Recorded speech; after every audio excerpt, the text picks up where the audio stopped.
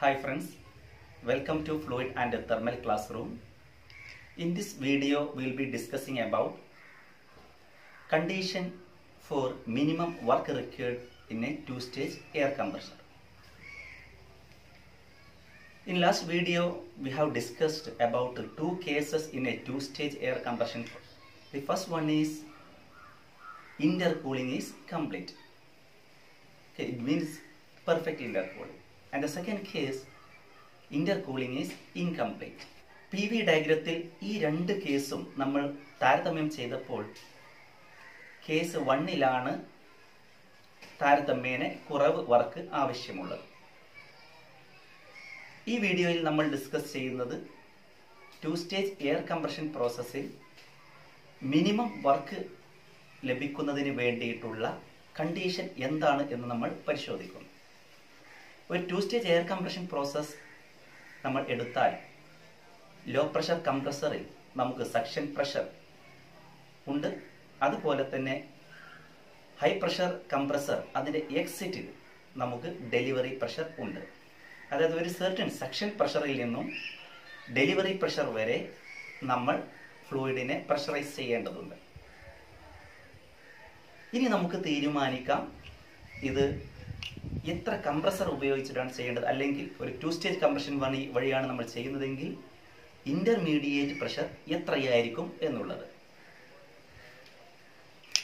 As an engineering student you must take care why you choose this intermediate pressure because the total work what we supply that must be minimum because compressor is a power consuming device ഒരു function നമുക്ക് ലഭിച്ചു കഴിഞ്ഞാൽ അതിന്റെ maximum value അല്ലെങ്കിൽ minimum value കണ്ടുപിടിക്കുന്നതിനായി നമുക്ക് derivative test ഉപയോഗപ്പെടുത്താം.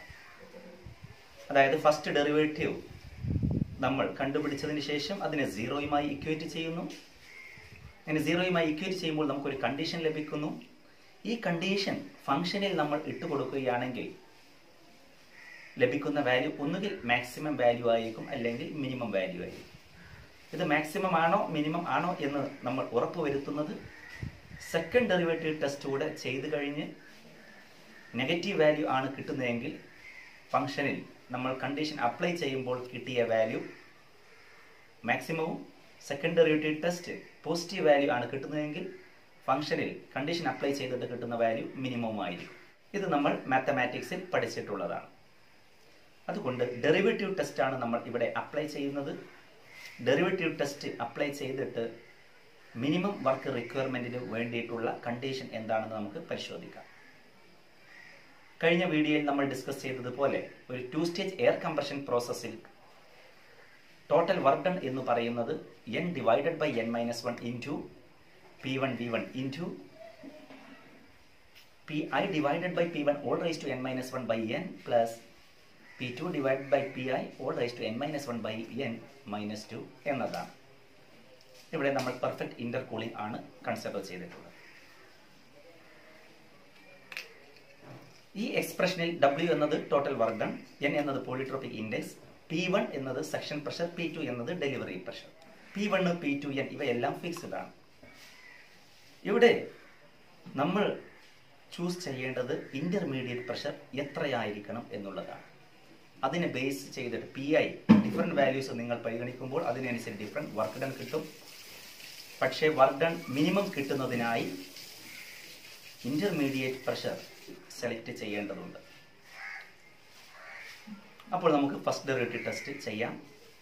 അതായത് ഡബ്ല്യു എക്സ്പ്രഷനെ നമ്മൾ ഡിഫറൻഷിയേറ്റ് ചെയ്യുന്നു with respect to P I and we are setting this is equal to zero അതായത് D W by D P I that we are setting equal to zero for simplicity we can take this parameter n minus 1 by n as small letter a or finally you can. Submit back a equal to n minus 1 by n ഇവിടെ നമ്മൾ differentiate ചെയ്ത് സീറോയുമായി equate ചെയ്യുന്നു. അങ്ങനെ simplify ചെയ്ത് finally നമുക്ക് ലഭിക്കുന്നത് P I equal to root of P one into P two okay that means intermediate pressure equal to square root of product of suction pressure and delivery pressure ഇങ്ങനെയാണ് നമ്മൾ intermediate pressure choose ചെയ്യേണ്ടത്. ഈ condition നമ്മൾ ഡബ്ല്യൂയുടെ ഫോർമുലയിൽ ഇട്ട് കൊടുത്താൽ നമുക്ക് കിട്ടുന്നത് ഒന്നുകിൽ മാക്സിമം വാല്യൂ ആയിരിക്കും അല്ലെങ്കിൽ മിനിമം വാല്യൂ ആയിരിക്കും.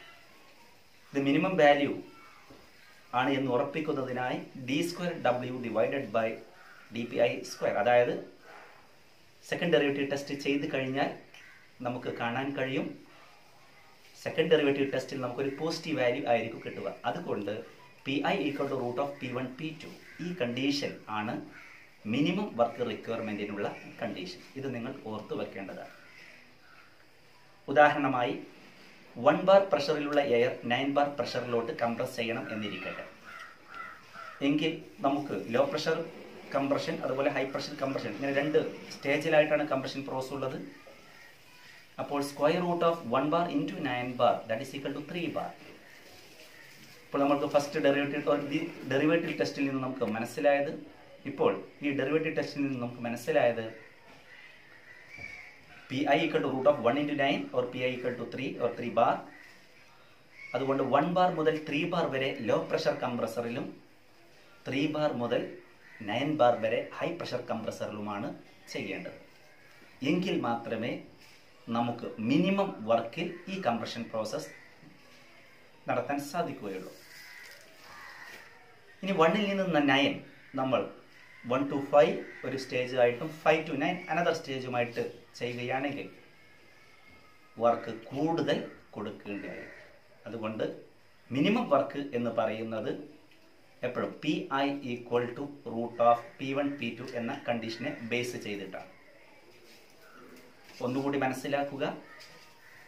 Condition for minimum work required in a two stage air compression process is intermediate pressure equal to square root of suction pressure into delivery pressure.